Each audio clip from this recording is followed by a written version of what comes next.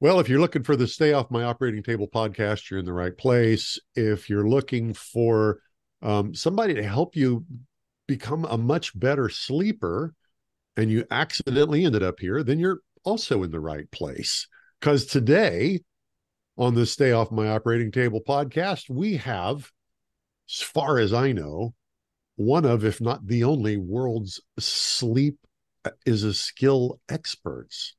I got to admit, Phil, when I saw we've got a sleeping expert scheduled, I thought, come on, everybody's good at sleeping. What's what's the deal? And then I went to her website and started digging around and went, oh my gosh. So there's the setup. Your turn to hit it.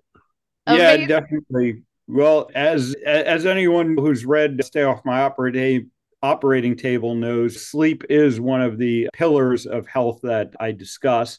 And I kind of realized that we haven't talked about it a lot on this podcast. We've talked about most of the other aspects in great de- detail. And so I was very excited when we I got introduced to Mollie and said, We need you and our audience needs you. Because honestly, what I see in practice is sleep is a big challenge for people and a big impact on their metabolic health. So, very excited for this conversation. And why don't we start, Mollie, by having you give a little bit of your background and tell us how you became a sleep expert?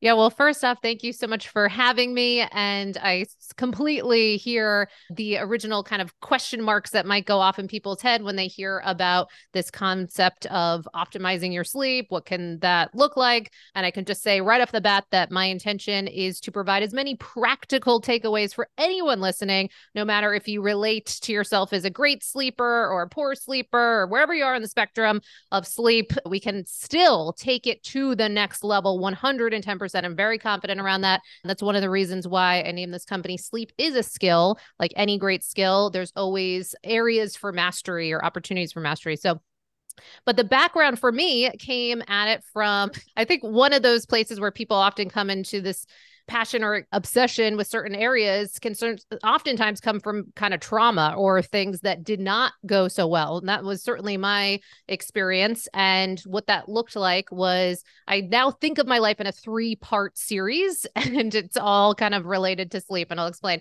So, the first part of my life, I had a lot of labels and narratives around my sleep. And I would say things like, I'm a short sleeper, I'm a night owl, it's in my genes, I'll sleep when I'm dead, you know, just a lot of isms or ways of kind of thinking about sleep where it was almost fixed and something to survive. And in my case, not doing so great with it. And I thought that's just how it was for me. And as the, and this was as a kid, teenage years, going to college and but just kind of progressively some of my habits and behaviors got more and more extreme but i would continue to say well, I'll go to bed late, I'll wake up later. I'm an entrepreneur, so I can sleep in. So, what's the big deal? Who cares? Not connecting the dots with kind of some of these maladaptive behaviors and my poor health. And what that looked like was the beginnings of an ulcer, shingles in my 20s, anxiety. Jeez. Yeah, all these things that were now I can look back, hindsight 2020, and see that how I was certainly managing things was not working, but also not connecting the dots for my sleep. And it wasn't until, as this serial entrepreneur in Manhattan, burning the candle at both ends, stressed to the max, that it was when I finally went through this period of insomnia where I had this for the first time in my life, this um, kind of sense of fear around my sleep. I started to kind of develop this sleep anxiety where the sun would be setting and my heart would start racing and I would start dreading the nights and fearing the nights of I can't go another night like this. I feel like I'm losing my mind was the real mm. fear. Mm. So I went to the doctors, left with sleeping pills, and that's not really supposed to be how it goes. First go around, it is supposed to now in the United States anyway be CBTI is supposed to be the kind of first line that we're supposed to be introduced to, but that didn't quite go that way for me. What and is, I left. What is that? Yeah, that's cognitive behavior that, therapy. Exactly. Yep. Okay. Cognitive behavioral therapy specifically for insomnia, and insomnia being kind of more defined as difficulty falling asleep, staying asleep, early morning awakenings. Uh, and so for me, I had this moment of standing here with my sleeping pill prescription and coming from a family with a lot of pharmaceutical use and seeing what that path looked like for them. It was very fearful for me that, okay, now what am I embarking on? So this kind of lit this fire to understand, like, how do I restore this area of my life? But also, I met a lot of problems along the way. I remember vividly trying to find support groups or places that I could go to discuss this. I felt very shameful, alone fearful that I was going to be stuck like this, that this was this ongoing problem. Like I flipped a switch and now I just can't sleep. So, flat going forward, I ended up trying a lot of things, spending a lot of money and time, energy, and effort, things that worked, things that didn't work. But in the whole period of all this, discovered a number of things, including what completely continues to fascinate me this world of chronobiology, the science of time and how time affects our biology as well as circadian rhythm entrainment. This idea that we all have this circadian rhythm that we can strengthen, that I certainly was not aware of and was doing everything unbeknownst to me that to weaken the strength of my circadian rhythm. And so once I started discovering this, it created this blueprint for me of how to live and conduct my life in alignment with these rhythms of nature, not from woo perspective, but from a biological hardwired perspective. And what came out of it was amazing. Started restoring my sleep, not only to how it was, which as I shared wasn't that great, but now getting to an optimal, quantifiably optimal kind of sleep opportunities as it comes from wearable trackers, in lab sleep studies, and other things. So what I discovered was something that I could not stop talking about. So organically, these small groups started emerging. Uh, started a you know online um, newsletter. Then it grew into this podcast. Uh, so now we have the number two sleep podcast. We have online courses to help people go through this process. We have one of the larger databases of Oura Ring users. If you're familiar with that, sleep tracker. Um, so we have, you know, hundreds and hundreds of people utilizing the Oura Ring, and we could see really on a granular level what are some of the things that can move the needle for people in improving their sleep over time. And we have a particular niche in high stakes poker. So we work with a lot of high stakes poker players on improving their sleep, gamifying their sleep, and they're in a casino designed on purpose to confuse your circadian rhythms. They're a great test case. So I say all that not to just say that, but to say that what I experienced was a place of thinking that sleep was just uh, uh, I was this lot that I was born into, and I had these particular sets of results. And it turned out that I was very wrong about how I was thinking about my sleep. And I'm clear after working with so many people that many of us have this opportunity to tap into this thing that we do a third of our lives, on average, 26 years of our lives are spent asleep, and we don't think that much about it. So that's my story. Great. I love it. Let's start with maybe some basics and some basic com- concepts around sleep. One of the big questions that oftentimes get brought up that I get asked a lot is quantity versus quality. We've all heard you, you need to sleep eight hours or or pick your number. But I'd love to hear uh, your thoughts on whether it really is a set amount of sleep that we need or whether kind of the quality of your sleep is what matters most. Yeah, great, great call out. So, a couple ways to think about that. And so, duration is important, how many hours you are logging. That's important. But to your point, then it goes deeper than that. Then, what is the quality of those hours that you're logging? What's the regularity of those hours that you log that you're logging? I have a lot of people that say, Oh, yeah, I always get eight hours, no problem. Then we take a look at their stats, and then they might be all over the place in the times that they're going to bed, the times that they're waking up. That can be uh, a real sign that we're dealing with certain things like social jet lag. You don't get on a plane, but you're experiencing jet lag just because it's all over the place. Social jet lag. That's a good word. Good phrase. Good term, right? Exactly. And many of us are dealing with that one. But beyond that, then we can also look to some of, uh, as you were speaking to, that quality piece, but that can go into the realm realm of sleep fragmentation. So, how often are you waking up throughout the course of the night? Of those wake ups, are you aware of those wake ups or are they only coming up on trackers and you're, it's not, you're not cognizant of them, but they're still disrupting your sleep? Sleep fragmentation can be a hallmark of something that we're coining sleep age. So, you know how you can test for your chronological versus biological age nowadays? You can now, there's there, we're putting together this conversation of your sleep age and a older sleep age is characteristic of some of those things that you're pointing to. So some of this poor quality of sleep but also sleep duration often being lower. So there are many factors that go into that that overarching piece of are you quote unquote a good sleeper or a bad sleeper? What are the the unmistakable signs that you're a bad sleeper yeah. So, well, one I think might surprise some people because a lot of people I talk to and I say what I do, and then they say, Okay, well, that must be nice for some people, but I fall asleep the minute my head hits the pillow. I'm a fantastic sleeper. That right there is a counter or a counterintuitive red flag that something is actually probably wrong or not not working with your sleep. The reason being is that we should have so sleep latency, the time that it takes for you to fall asleep. We like to have that be somewhere in the realm around 10 to 15 minutes or so that can indicate that you're not overly sleep deprived because falling asleep the minute your head hits the pillow or in, while you're watching a movie or certain times they're just not not indicative of really being well rested at the right times. If you're falling asleep immediately that can be a sign that we might be dealing with an undiagnosed sleep disorder sleep deprivation or otherwise but that would be one that most people aren't aware of. But then other ones that people might be more aware of are some of the difficulty falling asleep, staying asleep, early morning awakenings that goes under the category of insomnia. But then there's also the group that maybe they can fall asleep, they maybe can stay awake, stay asleep throughout the course of the night. Maybe they're not waking up early, but they might not be prioritizing their sleep. So for some of my poker players, I might see that where they're dealing with just kind of difficult schedules or or shift workers or other things. So you want to look at what bucket you're dealing with. Can you unpack that not prioritizing your sleep yeah. a bit more? Because that it sounds like there's a lot more detail there than at least is making oh. sense to me. Shift totally. workers, I understand. Totally. That's, a I lived with a shift worker for a night for a while, and that's a bloody nightmare.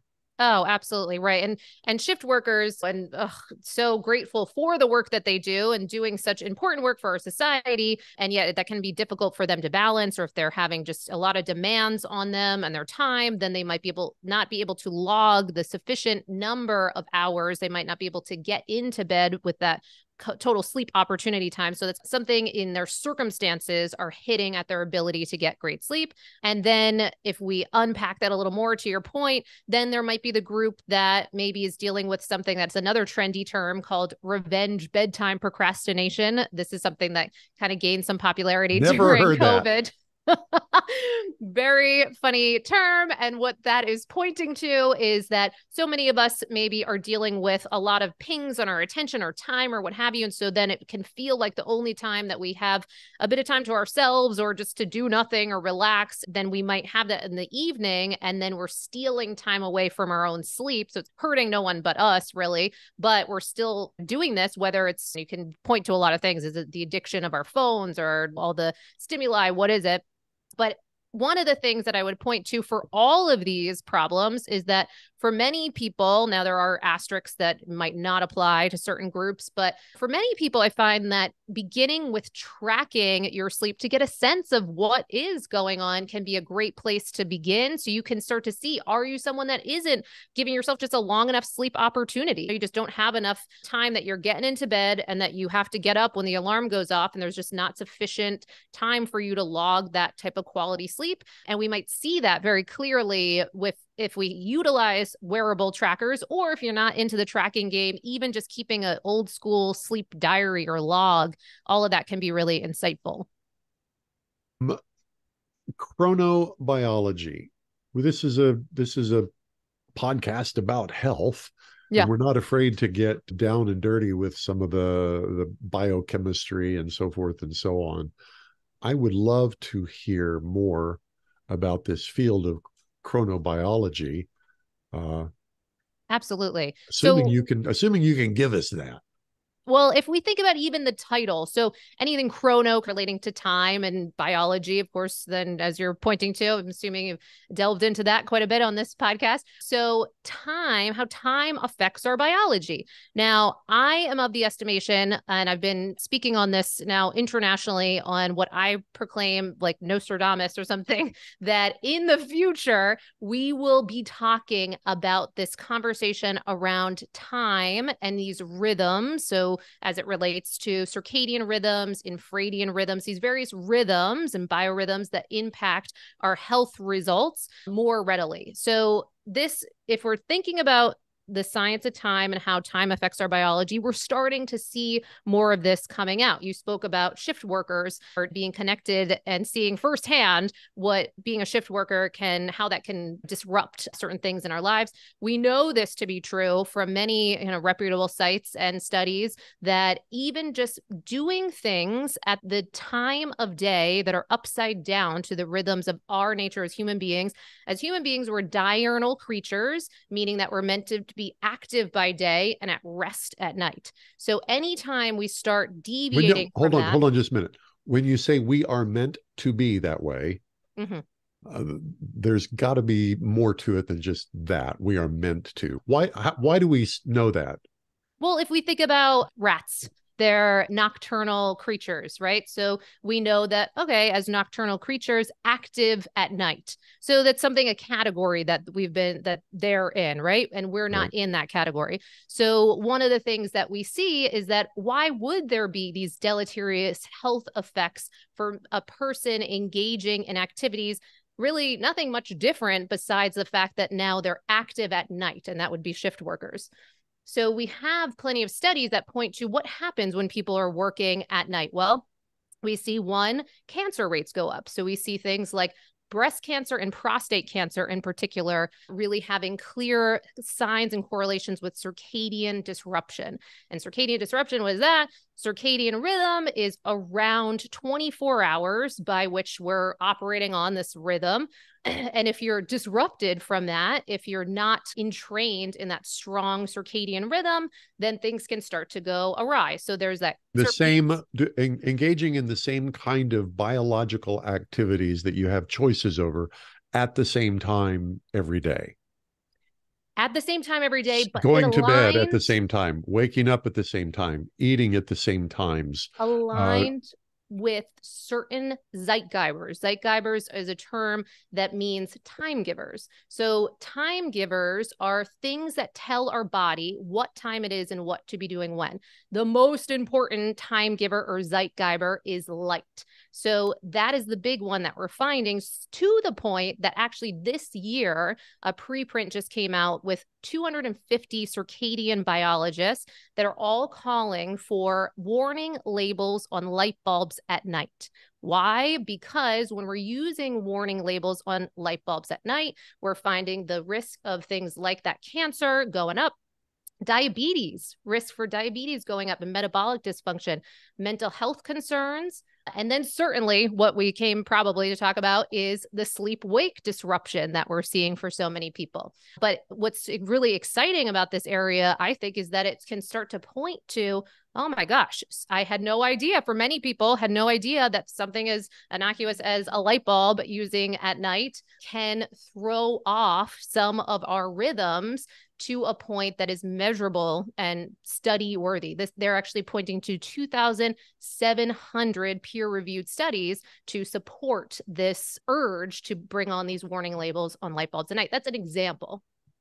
Circling back to the shift workers, what you're saying is that even if you're consistent in the shift work, so you work that same overnight shift, just the fact that you're up at night working at night is problematic in itself. Because I, I was always under the impression that difficulty came when you were kind of going back Rotating. and forth. But you sometimes work day and then you work night. But very you're important. saying even consistently working night is problematic. Yeah, no, that's a very important point. So you touched on something very key because we do see that rotating shift work is particularly problematic for people. So when we've got a couple night shifts and then we go to midday shift and let's do it again or whatever, that can be super, super problematic. The other thing we can find to be problematic is even if people do have consistent shifts, then they're practicing unbeknownst to them that social jet lag, like we were talking about before, where then on the weekends they want to be with their family, they want to do some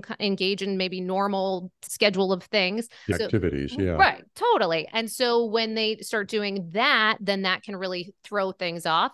But even beyond that, because I don't want to scare shift workers. And if anyone is a shift worker listening, I just want you to be aware that this is clear. This is listed as a possible cancer causing agent, this process of working at night. You can look at the World Health Organization and other established groups that have called this out. So be aware of this. There are things you can do to help soften that or support yourself, like you're pointing to as much consistency as you can possibly have. That can make a big difference. But yes, to your point, if there is a lot of variability, but there is just that clear element that if we are being active at night with these faux lights in our environment, this is doing something to our biology that we're not fully understanding and seems to result in some of these deleterious health effects. Can can you dive into the i have got two different questions. I'll ask them both at the and then take it where you want. Blue light blockers have kind of been a thing. I'd love to hear your thoughts about the use of blue light blockers. And then, secondarily, my understanding is that our circadian rhythm, uh, specifically our sleep wake cycle, is driven by the levels of cortisol in our in our system at any given time. I became aware of this a long, long time ago because I was having I was having problems and my doctor explained to me that your cortisol is supposed to rise in the morning. Your body warms up when that happens. And it part of the reason that you, you tend to get colder is because the levels of cortisol drop. And so I started to become very aware of in the morning, I'd feel my body getting warmer and I go, oh, my cortisol is going up. And at night, it's cooled off. So I'm guessing, I don't know this, but I'm guessing that part of what happens when your sleep is disrupted is that hormone cycle is is being disrupted. Could you talk about that as well? And those may be related. No it's a great, great question. So first off yes a very popular test that people might engage in if they're dealing with difficulty with their sleep could be things like the Dutch test. So, testing cortisol levels throughout the course of the day, and then how your melatonin levels are functioning in the evening, and seeing do we have that strong pulse, but kind of a Goldilocks effect of that cortisol in the morning around the same time each day. And that's where that regularity becomes so important. So, if anyone, if people are like, well, what are some practical takeaways out of all this? If you just do nothing else but get up at around the same time every day to support, to your point, that clear cortisol pulse, that can be a great place to begin, including the weekends. So that clear cortisol pulse can happen because a delayed kind of signature of disrupted sleep is often delayed cortisol pulse and it's pushed out and then that can further disrupt things like your melatonin pulse. And so we want a really strong melatonin pulse in the evening and what happens when your melatonin is pulsing? Well then we hope then your cortisol is going down and then that's facilitating this preparation for sleep and then our body temperature to your point is then going to go down. We're going to down regulate. It's almost going to help automate automatize this process of sleep so that we don't have to try so hard to sleep. We don't have to do a million meditations and all these different things. If you want to, you can. But if we have these things working, then this should really help kind of usher us off to sleep. Now, what are some things that could disrupt our for instance melatonin pulse well you mentioned the blue blockers what i would say there is that one of the reasons that we're that that call to arms of the warning labels on light bulbs at night not just to be cutesy but instead to point to this kind of prevalence of evening lighting post sunset disrupting our melatonin production. And certainly, melatonin got a lot of press over COVID and at other points and for many different reasons. And so, what are some of the things that can disrupt that? Well, certainly, one, irregularity and pushing that out too late but two, having those artificial lights at night, because you pointed to circadian rhythm and its connection with cortisol. So, circadian rhythm entrainment is one of the things we do with sleep as a skill and how to entrain and strengthen your circadian rhythm. Because you can really have a weak circadian rhythm or a strong circadian rhythm. So, it's kind of on a spectrum, and you might fall somewhere in between there. Many of us are running around with kind of a weak circadian rhythm, one in which you're not having that clear cortisol pulse in the morning, clear melatonin pulse in the evening. But what are the ways to impact your circadian rhythm? The top most important one, that Zeitgeber, is light dark. The second one being related to temperature. And you pointed to temperature beautifully. And so that's something that we see very clearly can impact the workability and automation of this rhythm. And then also your sleep quality. So if you're testing and tracking your sleep, one of the easiest ways that I see for people to improve things like some of their sleep quality, limit sleep fragmentation, the wake ups throughout the course of the night as well as the quality of their sleep, lowering their heart rate while they're sleeping, improving HRV is things like cooling mattress pads. So, ChiliSleep, eight sleep, but also just lowering the temperature in your environment as much as you can, even though our current modern day bedding makes it more challenging because we're kind of rotisserie t- chicken insulated in our bedding, which is the problem. So true. yeah, right? Oh gosh. Yeah. So so those are some things that I could point to. So yeah, I mean, so so many different interesting aspects of this to get into. But I wanted to ask you about the relationship between sleep and insulin resistance specifically. It's a big thing that we talk about here around metabolic health. And I'd love to hear your perspective on that. Sure. Yeah. Well, one, I just realized I didn't fully answer the blue blocking question, so that no, could lead didn't. us into uh, okay. so, so just to complete some of that, because that can play into that conversation that you you shared on the insulin piece, our glucose, how the functionality of that is the interplay there. So, blue blockers are there's different types of blue blockers. Some people have clear blue blockers, and I would say those are not sufficient, not going to do anything really to support you in the evening if you're using blue blockers in the evening and they're also not like a free pass to then have as much light in your environment, they can be, they can kind of mitigate some of the effects if you have amber or red lenses. Now there's lots of different, eh, lots of different conversations around that. I would not rest on my rest my laurels or hopes on the blue blockers. I would aim to change our environment as much as possible, but they can be helpful. Say if you want to watch, I don't know, Game of Thrones or something, and you throw them on, and there's some blue blue light coming out to not be quite bowled over as much. There's different studies to support that but I would say that that's something that can help ensure that you're not disrupting your melatonin as much to make it easier to fall asleep and stay asleep.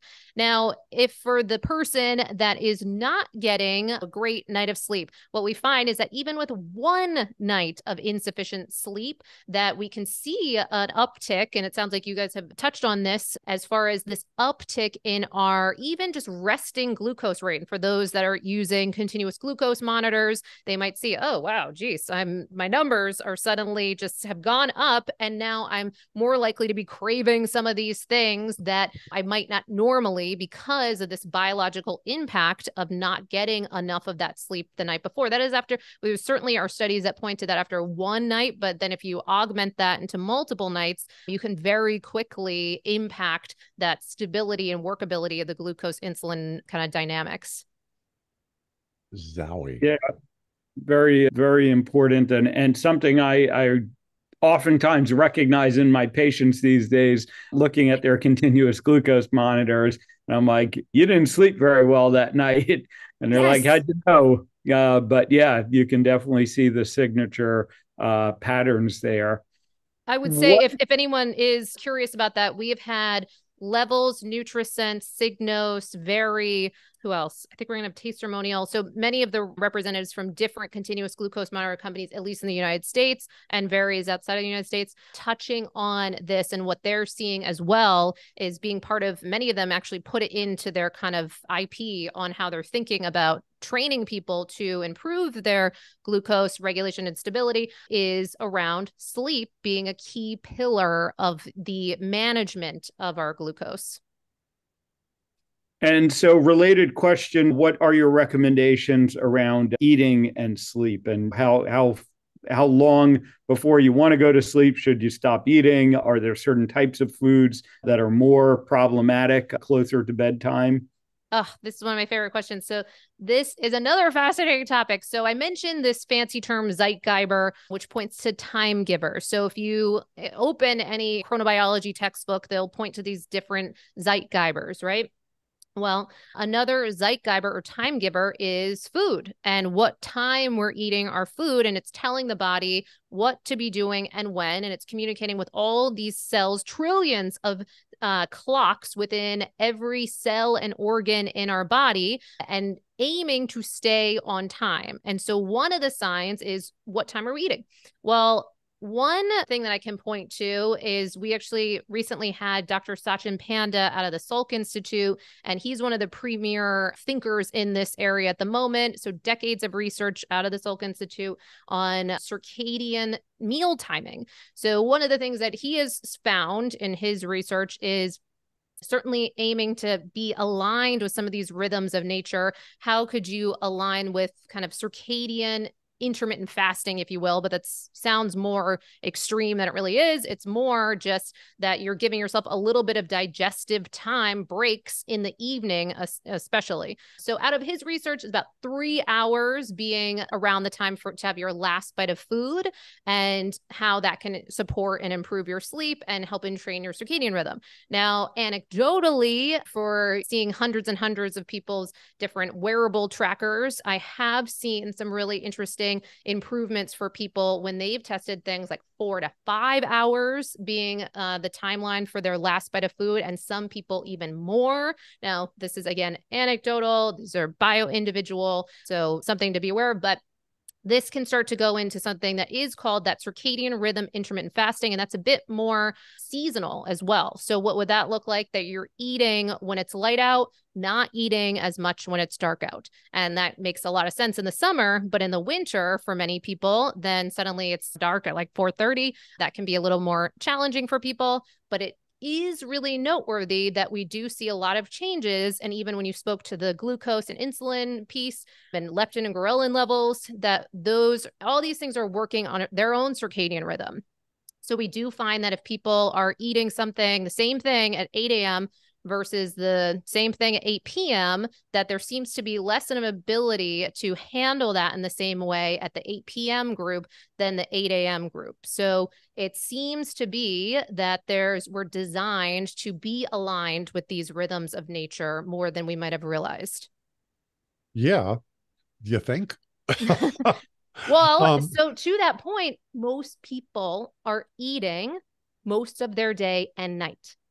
This is the problem. So we're seeing this over and over again. What is the problem for that? Well, it's impacting their glucose regulation, but it's also impacting their ability to get great sleep. So every time you eat, too, that's going to warm up your body temperature just a bit as well. So it's going to also impact your ability to fall asleep with ease, stay asleep. So many people that complain of wake ups at around 3 a.m. or what have you, they might want to look at what's going on with their glucose. They might want to pull on put on the CGM that you were speaking to as you're going to see that for many people, it's a whole mess. And most people, even talking about America, we see that wild numbers of people are eating all throughout the course of the day. So there's frequent eating. And they might not even register it. It's, oh, there's another apple. Oh, here's some almonds, whatever. Even if it's healthy, not healthy, it's a lot of eating. And every time you're turning on those digestive clocks, that's sending confusing signals.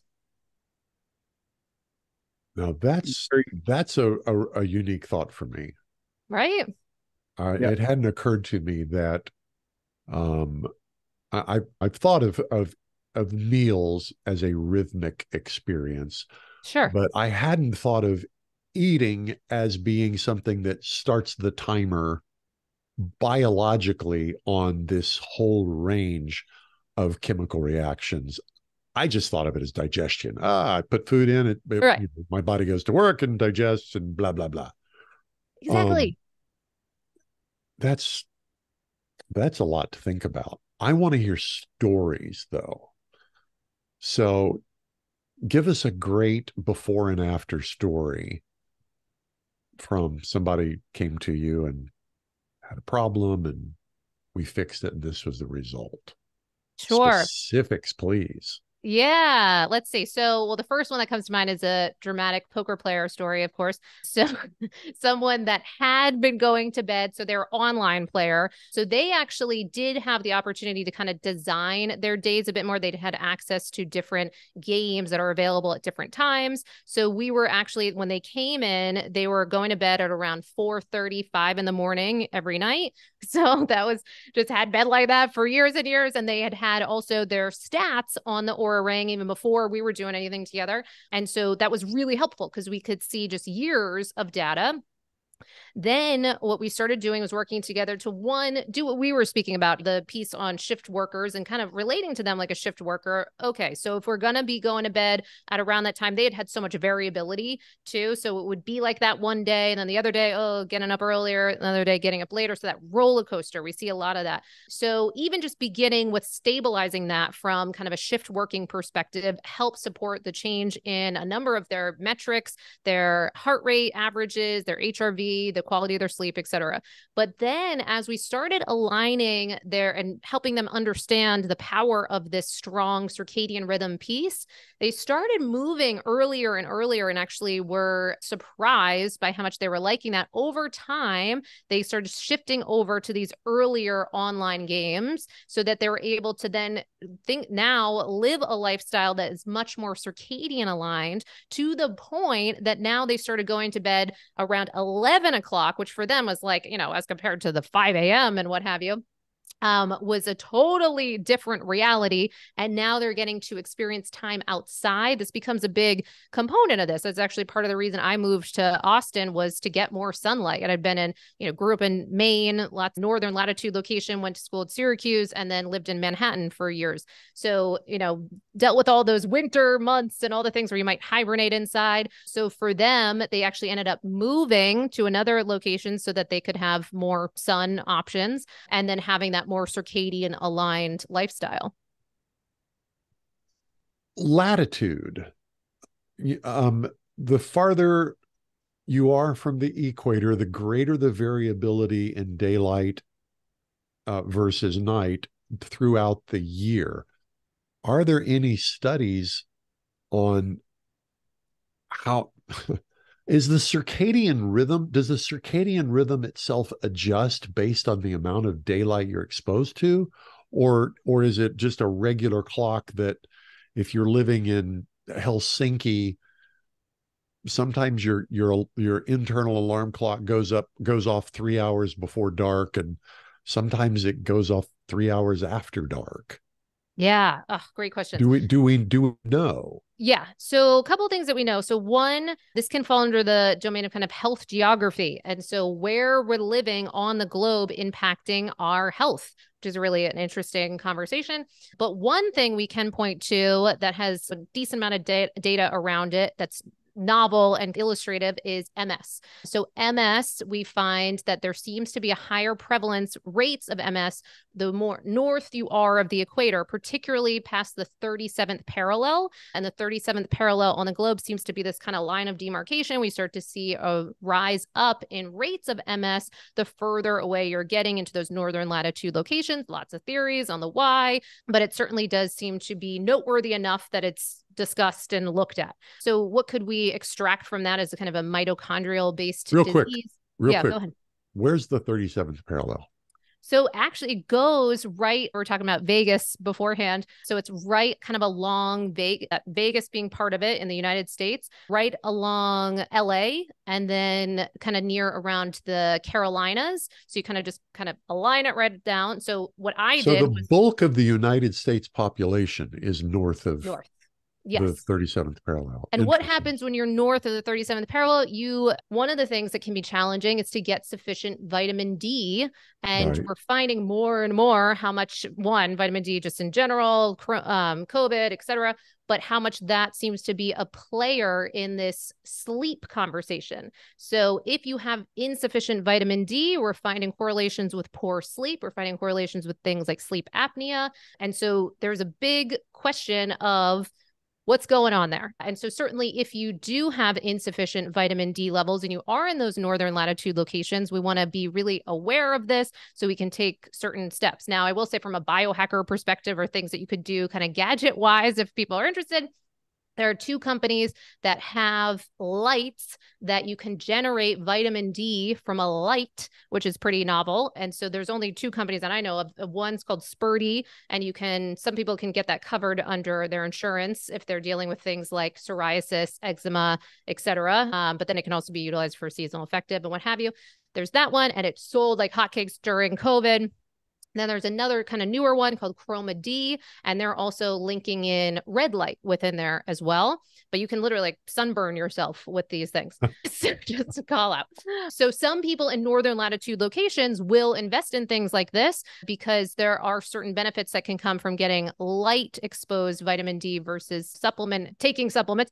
But certainly that might be something that we would consider is what type of how much we're supplementing with if we are in these northern latitude locations, particularly if we're talking about the United States from around October to going into the early spring months. That's where you're at a major disadvantage to be able to get sufficient vitamin D because now the sun is having to stretch across the globe and the power of the sun becomes weaker during those months. So, what would happen? You said a really great thing about, well, what does our circadian rhythm kind of shift? One really practical thing is that when those days change and we go into the winter months and the nights are longer, historically, what we would have thought of is this kind of becomes a season of melatonin and a time where we would have slept more. And if you're in particularly in those northern latitude locations, you could take advantage of the colder environment, almost getting built in cold therapy, which can build up more mel- uh, mitochondrial kind of production from brown fat perspective. So you can be gathering that in those northern latitude locations in the past. But now, since we have indoor living, certain stats point to that around 93% of our day in the United States is spent indoors. That was back in 2001, um, a stat out of the EPA, and that was before pandemic, smartphones, Netflix, all the things. It's probably way more. So most of us are no longer being exposed to some of those signs and cues that would signal this is winter. This is a time to sleep more. This is a time where we can make up and change that circadian rhythm to a certain extent as a way to repair. We're not necessarily doing that as much anymore. Let I want to jump in and talk about a little bit of a different aspect of sleep. We've talked a lot about sort of timing and getting to sleep. How about staying asleep? Because I know oh. this is a challenge for so many people. They'll oh, go to sleep, they'll fall asleep okay, and then for whatever reason, they're waking up in the middle of the night and then have trouble getting back to sleep.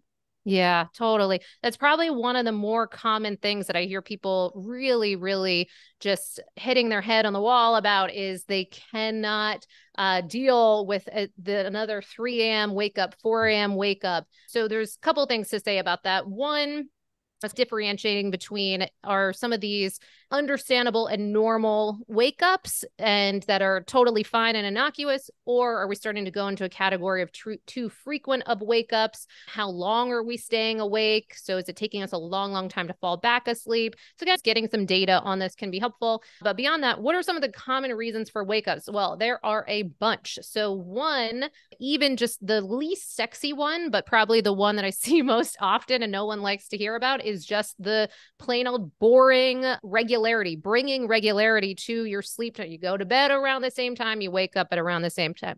When you start deviating from that, then the body has some confusion on what to be doing and when. And then you can often find yourself waking up at different times or the quality of your sleep can be impacted. So that's like the least fun one, but probably the one of the bigger lever movers in, in the conversation.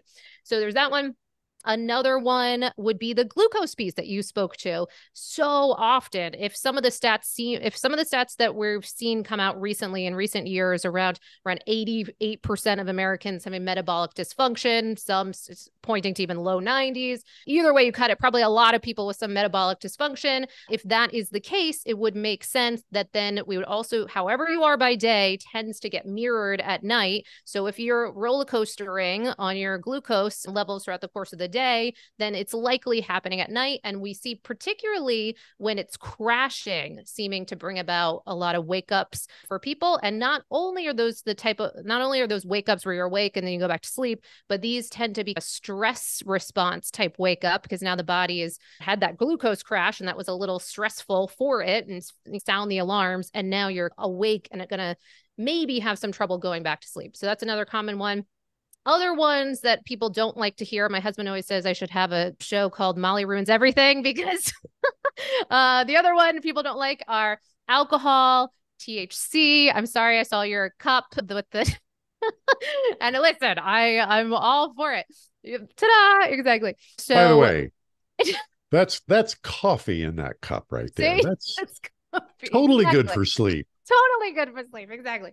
So, pointing to things like THC, alcohol can certainly both help people fall asleep. We do see that in many studies, often can help support sleep onset for both of those.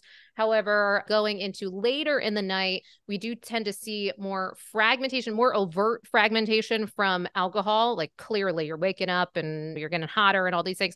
Whereas THC seem to have a little different effect from certain studies. We see, love to see more studies, but for some people, there might be more of this insidious kind of just poor sleep quality and maybe some wake ups and some that they might not even log or remember. So that one's a little tricky, but certainly the alcohol piece oh. is very, very clear. Go ahead.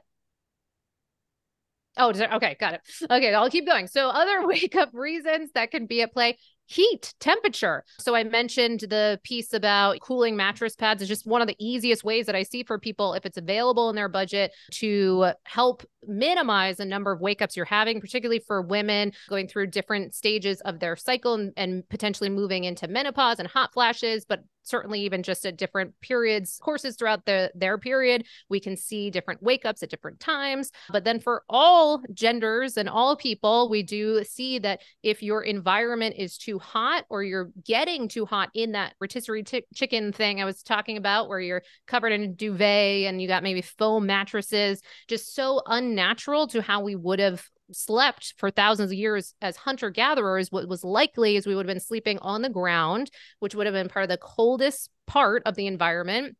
And with that, that seemed to support quality sleep and less sleep fragmentation. Now, they had other reasons to wake up and fearful of their environment or whatever, but the temperature piece could help support the quality of that sleep. So that's one. And then you can also get into other things like prescription medications, stress, anxiety, depression, other things. So there's a long list.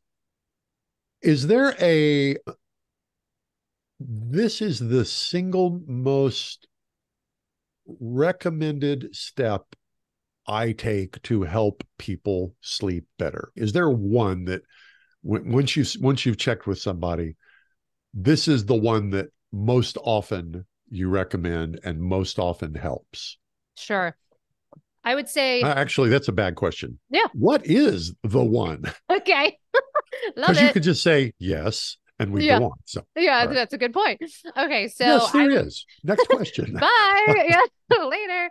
So what I would say is and this, I go, you won't even, most people don't even believe that there are actual conferences around sleep. And there, you know, one's coming up next year, Sleep 2024. The, and it's, the jokes write themselves. The jokes write themselves. Totally. Uh, we're here all night, except hopefully not too much, not impacting our sleep. But so, so I go to these sleep conferences, right? And some big takeaways from some of these conferences with some of the brightest minds putting their head on the case of how to improve sleep often come shake out to as simple as bright days, dark nights. As simple as that, right? But what does the practical application of that look like? Well, we had a NASA subject matter expert on the podcast recently, and he spoke to his estimations being that globally, most people are experiencing 3x too dark of days and 3x too bright of nights. So, what is that doing? Well, it's very much confusing our circadian rhythm because, especially uh, the hmm. suprachiasmatic nucleus, is that main master clock in the, the brain. Who? yeah, exactly. Right. What is that?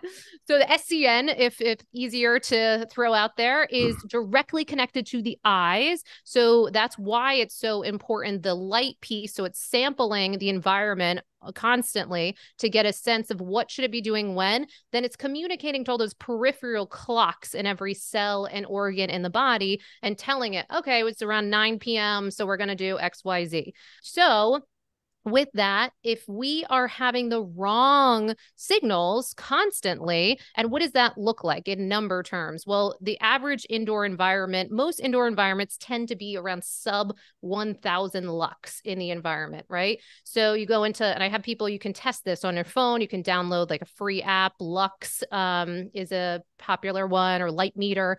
You can download these and you can test your environment. So I have people do that. They might go into their Starbucks that they always work from and they spend a bunch of hours there. They test it and they say, oh, geez, wow, okay, there's only 300 lux in here.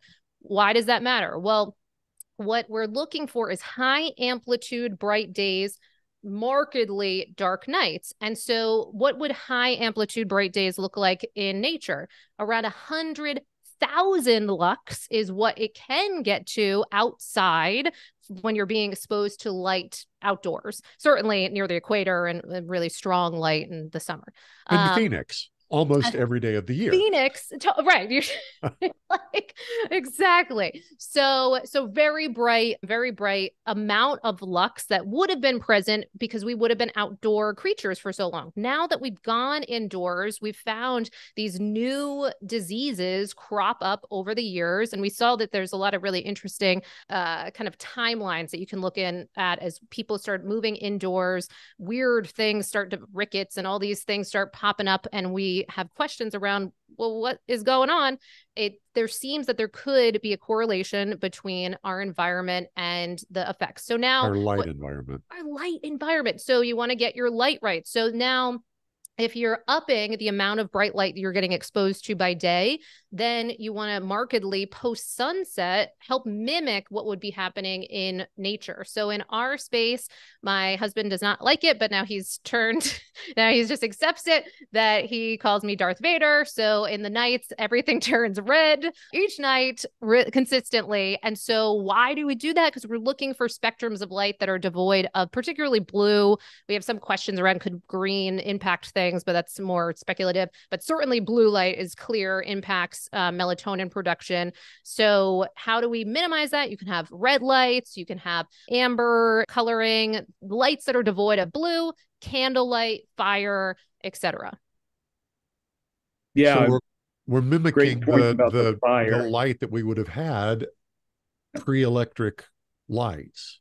Yes, exactly. Because fire, fire, was the first or, biohack. Or, yeah. yeah because initially for so long we didn't even have fire. And then we developed oh we can make fire we can kind of create it and keep that. Well what was characteristic of fire? Fire has a large amount of infrared light so it skews high on the red spectrum. If you are to take um, you know kind of a inventory of what type of light is in there a lot of red. Whereas many of us now find ourselves and actually just this year what was made illegal in the united states was incandescent lights. That's the old light that edison Had created that little filament in it. It's like yeah. romantic, and you go to a cute like restaurant and it's all like mood lighting. Those are now illegal. So those are illegal. And now LED lights are what you are gonna get.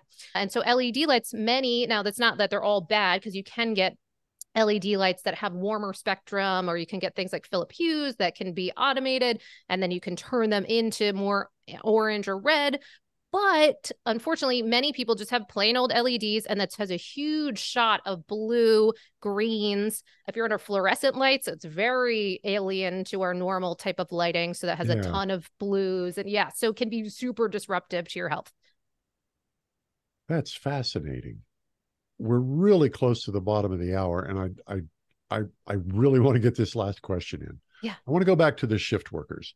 Sure. Is it possible uh, if you're somebody who works at night and sleeps during the day, um, to to mimic the day night uh, shift in light so that you're so at night work in an extremely bright environment and during the day darken your environment as much much as possible has there been any kind of studies done on that and is it possible to to mimic the biological effects by by fixing your environment your light environment that way yeah, such a good question. So, first off, we haven't quite been able to mimic the type of light that we get from this like magical giant sun and this full spectrum light and the true arc that it has. So if you really get into the phys- physics of light, you could spend a lot of time just studying that of how different it is in the morning versus midday versus afternoon versus the, the, whole thing. However, people are on the case of aiming to create circadian lighting. Practical applications can look like hospitals. So to help support improved healing. So we do have studies that point to things like if patients are in rooms that have windows and so they're a bit more connected to these rhythms of nature, do they leave the hospital faster? It seems to result in that in certain studies. Now, I will say windows are not a full fix. They're better, so all these windows I have behind me, these can dis- still disrupt your circadian rhythm because in the morning you want to get this bright light in your eyes and not from behind a window because there are studies that point to 50 to 100 times longer to reset your master clock when you're getting that light from behind a window versus just going outside. So this huh. is where you want to learn, right, about what happens to this light, how is it adulterated? So even if you're someone that as a truck driver, right, even if you could just roll down the window, quite a bit throughout your driving to get real, true, natural light in, that's going to be kind of a hack for you. Now, for your real question, though, about how can you manage as a shift worker? Can you mimic these rhythms? You can certainly one get curious and start to learn about some of these things so that you can help support yourself as much as possible. One book that's i don't have a lot of books to recommend unfortunately, unfortunately for shift workers because there aren't a lot of them but then this is why one just came out recently and got a lot of press called the sleep fix and that got pressed because that was actually by an ABC correspondent uh, who went from a kind of journalistic perspective where she was a shift worker, she journalist, and then would have to be on air at odd hours, oh, 3 a.m. Yeah. or whatever, but loved her job. And everyone would say, Well, sorry, you should quit your job. And she would say, Well, I want to keep my job. So what can I do? So she started interviewing a lot of people. And so that's one book in a nice place altogether that can have a lot of strategies for people of how to help support your rhythms, even if your rhythms are upside upside down to a lot of the rest of the society and that can be really like problematic and a struggle for people. But once they become and get the education on it then they can have a lot of tools at their disposal to help enact this. And some of it can just go to the practicalities of making sure that their environment when they get home has certain structures in place total blackout. It's as cool as possible. We've communicated with the family to not go in there when you're sleeping and how yeah. can we keep this to be in place all week 7 days a week all of those sort of things. So the the answer is we can certainly minimize a lot of those impacts and then i think the more curious people can get then they can really support these rhythms maybe more than the average person is even aware of and they might be doing just as much harm I really did not think I would we would get a solid hour of conversation and I would still have a whole lot of questions. Well, I, I looked at this and I said to myself, like, oh, "This is about a 12 minute conversation and then I'm bored out of my skull." wow. Well, I hope that is that makes me very happy because truly my mission on the planet is to help support people in this area with their sleep. So a, a passion point for me is because truly when I was going through this, part of what was so earth-shattering and moving to me was I really felt like I was losing my mind. And we know that mental health and sleep are very much interconnected. We don't have really a single mental health disorder that doesn't have the presence of disrupted sleep there. So for me, that was really, really important. And what ended up coming out of it was oh my gosh, my whole experience of life that I had been living for all those years with kind of unnecessary, unbeknownst to me, anxiety, depression, all of these things that I was impacting my results and I had no clue. And I think a lot of us don't. So I'm so happy to hear that because anything I can do to help support people's interest and intrigue and hopefully fascination over this thing we do is really important to me. All right. Well, point Amazing. our listeners. Yeah yeah. Point, so I, point our listeners. Oh God, Phil, we need somebody off camera. I, I, can tell this. We we need somebody off points, camera. Yeah. We need to have the little thing in our ear. It's okay, Phil. Now it's your turn. Love it. I think we're both trying to get to the same thing though, but for for those in our audience who want to really be proactive about this aspect of their health, which is something we talk a lot about, how can they learn more about how to sleep better?